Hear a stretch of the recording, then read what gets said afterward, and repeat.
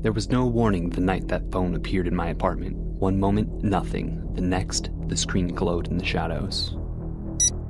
Curiosity got the better of me. It seemed like just another smartphone, but then it showed me something a grainy video of an alley downtown, a violent, hidden camera style clip.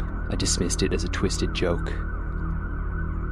But the next night, it happened again. Different place, an old warehouse, but the same raw, brutal violence. The next day, news reports confirmed the horrors I'd seen. The phone wasn't just showing random violence, it was predicting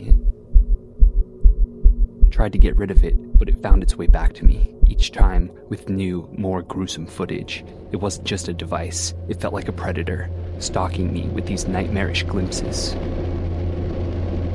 That was just the beginning. I didn't realize it then, but this phone was more than a mere window to terror. It was part of something darker, something that was slowly pulling me into its